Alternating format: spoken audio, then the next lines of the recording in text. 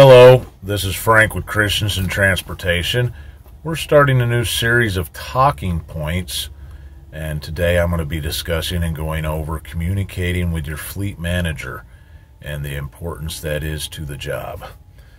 First of all, communicating with your fleet manager makes you a professional here at Christenson, and it's very important part of your job. We're going to start today with safety and the importance of communicating any issues with your fleet manager due to a ticket, an accident, or a DOT inspection. These need to be communicated as soon as possible. If there's an accident, you need to notify the proper authorities, then communicate with your fleet manager the seriousness of the accident. DOT and safe uh, DOT and tickets when you get a DOT inspection, whether you pass or fail, pick up the phone, you're a professional driver here at Christenson, and talk to your fleet manager. And they will in turn send you to safety. Same thing with a ticket. You can't hide a ticket. We'll know about it. Doesn't don't don't hide it. We get a ticket, pick up the phone, call your fleet manager, let them know what's going on. They will in turn send you to safety. Same thing with an accident get a hold of the proper authorities if you need medical or police or any of that you call them first then call your fleet manager. Don't call your driving buddy or your friend or another driver. You need to get a hold of your fleet manager first. Tell them what's going on in the situation you're in and then they will in turn send you to safety.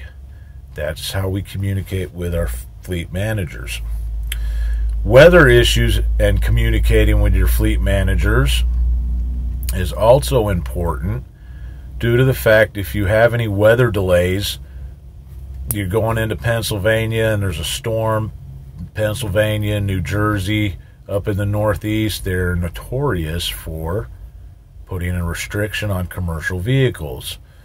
You need to know that before you get there. Pick up the phone. You're a professional driver get a hold of your fleet manager and explain to them Pennsylvania has been shut down. There's no truck traffic allowed until the storm is over. I am, let's say, six or seven hours out from there. I'm going to stay where I'm at instead of continuing on because it's already hard enough to find parking up there. And it would definitely be a difficult thing to find parking when the state's been shut down for six or seven hours due to a winter storm and that goes for Wyoming too. You know, they have the wind events out there in Wyoming. The wind can get, you know, 80 plus miles an hour. And if you have a 5,000 pound load, that's not going to work. What you need to do is communicate to your fleet manager of the situation you're in and where you're at and when you shut down. Not at the end of the day, but when you get shut down and parked in a safe area, pick up the phone and call your fleet manager. The reason this is important is due to the fact that your fleet manager will put an email together and send that to our CSRs. And they, in turn, will get a hold of our customers and keep them advised of the situation, whether it be weather, high wind, accidents, traffic. All this stuff is what you need to communicate with your fleet manager and keep that line of communications open so they can in turn let our CSRs know, and then the CSRs can get a hold of our customers and let them know. No one likes a surprise.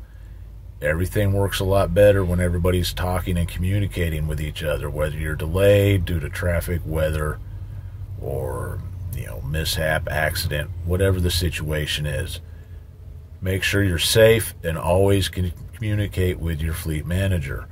When you arrive at a shipper and you get there early or on time for your appointment to pick up a load, and you go check in, and the shipper says, Hey, the load's not ready, it's not a drop and hook, we're sorry, whatever the reason is, first of all, don't take it out on the person you're dealing with. They're just relaying the message, and it's not nothing personal, and it's not to make you mad. Yes, it gets frustrating. We've all been there. That's when you go back Get the person's name you're dealing with in the shipping office. Get their name. Take that information back to the truck. Call and communicate with your fleet manager and explain to them, I am here. I'm on time. This is what's going on.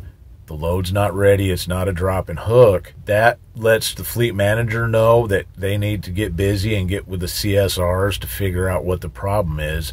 And the CSRs will in turn get a hold of the customer, see if we can get this issue resolved. And sometimes it does get resolved in a timely fashion, and sometimes it doesn't. That's the nature of the beast in the game we play out here. But what you don't want to do is yell at the person that's delivering the news. They're just the messenger. They're just telling you what they are told. It's nothing personal. It's not a vendetta against you. You got to communicate with the fleet manager and let them handle it. Follow your chain of command because everybody's a little link in this chain. And if you break that chain because you're mad that the load's not ready, then you're probably going to wait longer than if you went the proper way with the fleet manager and getting a hold of them and letting them get a hold of the CSRs and the CSRs getting a hold of the customer.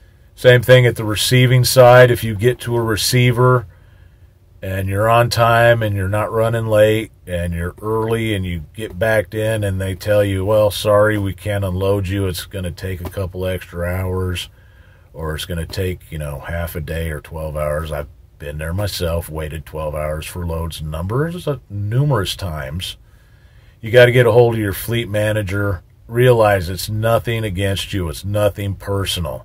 Communicate the problems with your fleet manager so they can get a hold of the CSRs. CSRs can get a hold of the customers and we can get this issue resolved. Following the chain of command might take a little bit of time.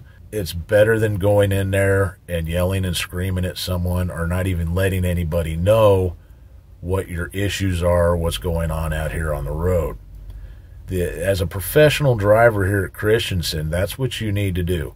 You're a professional. You need to act like a professional. You need to communicate your issues, whether they're good or bad. Pick up the phone and call your fleet manager and advise them of what's going on so they can handle everything the proper way.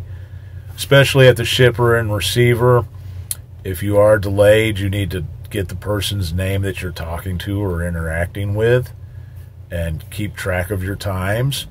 And then if there's any compensation or detention time due to you, the fleet manager has all that and you can communicate that with the fleet manager when you get done doing what you're doing.